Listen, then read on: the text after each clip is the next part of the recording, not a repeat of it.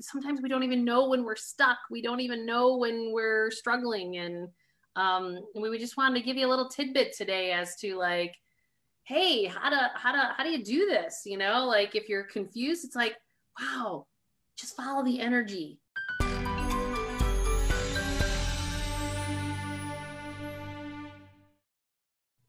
Hey, everybody, how are you?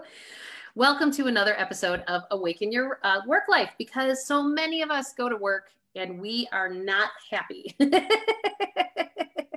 got a little happier when we were able to not have our commutes through this last pandemic. yeah. But it really, you know, um, Karen and I were just talking beforehand, and it's like, wow, we sometimes we don't even know when we're stuck. We don't even know when we're struggling. And um, we just wanted to give you a little tidbit today as to like, hey how to how to how do you do this? You know like if you're confused it's like wow just follow the energy. And and some people go follow the energy. What in the hell are you talking about joel? What does that mean? What does it mean? What does it mean?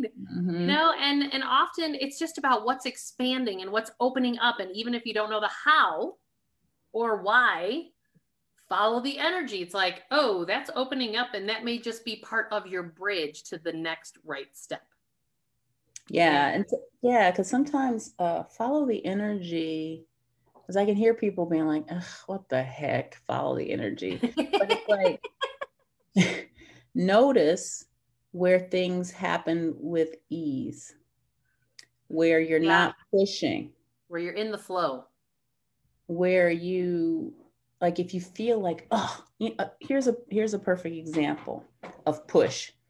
You're on your computer and you're trying to get it to do something and the little thing keeps thinking it's spinning. Yep. and you're like ah, i need to get that done. And you keep trying you keep trying you keep trying you keep trying like you've been there for 30 minutes now trying to get it to do something. That's push. Mm-hmm. that is push. And the you're trying to force something into happening. The other way kind of the flow is get up and walk away let it cool. Totally. Get up, walk away from the computer. In the background, your brain is actually still thinking about, like, why is that not working?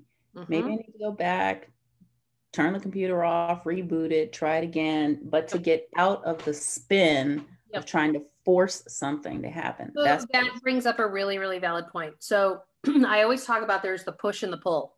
Yeah. And we have been told in all of our educational systems and all of our trainings and everything that you have to push, you have to go after it, you have to go get it, blah, blah, blah. And that's the divine masculine energy. That's the masculine energy of how we've all been trained, men or women, we've all been trained that way. And you know what? I gotta tell you, I've pushed like nobody's business in my life, and I am successful for that. But there's a ceiling to that pushing when you don't get in the flow and when you don't follow the energy, which means just getting into the flow of what is of ease and grace. Yeah.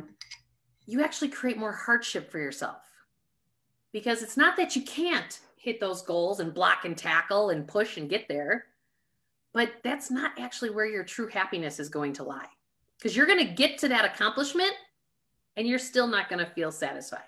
Yeah and the the um the effort. And here's the thing don't get me wrong i think we need to have skin in the game right? For anything that we're doing we need to be willing to do the quote work. So this mm-hmm. is not this is not like oh you're going to be able to go see you should be able to sit on your sofa and make it happen. No julie's right about there being a tipping point where normal elbow grease becomes push and it you know what in economics is a there's a term and it's probably also in um, in other industries the law of diminishing returns mm-hmm. and the whole idea is there's a point after which the increase that you gain gets smaller and smaller incrementally so like so you might put in the same input same effort but you get less and less and less out so right. there is a point after which still putting in the same effort is not getting you what what you want out of it and so it happens with things like sleep Mm-hmm. Like you might think that it makes sense to stay up all night. It doesn't. Because after a while you'll be spacing out and doing these things. And the same thing's true. Like that is that's push. Yeah. And that's what we're talking about is begin to notice when you're pushing in your life versus just good good old fashioned effort. Well, like, yeah. When I have people map out my clients, when I have them map out like what's your ideal work life, they always come in with the tasks. And they go in the um this is a line I've been hearing a lot lately. It's well, this in this pay scale, because you know, our left brain logical people have siphoned it down to okay, well, you can get a you're at the top of your pay scale, so you can't get there unless you get a promotion.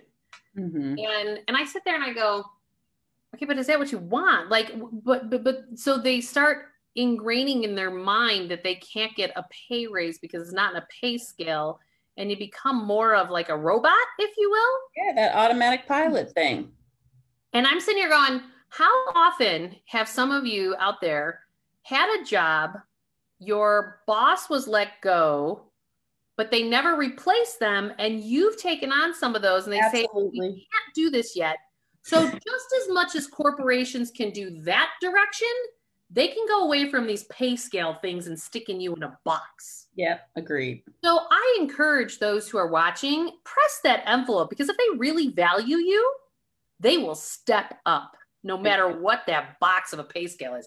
That's just the bullshit line to get you to close your mouth and fall in line. Yeah.